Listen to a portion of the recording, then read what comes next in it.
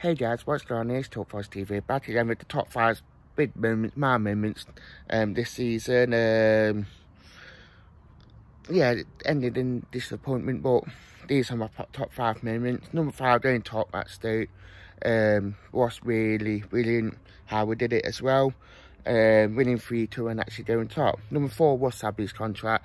I think it was big relief when he signed that contract. Um, and actually we're him for next season so and he actually lasted a season as well which is quite nice. Number three is beating swansea fulham brentford away. Um some of the big matches that we actually won um really good um results as well. We set result really well. Uh, number two beating derby twice obviously in cup and in quite comfortably uh, really good.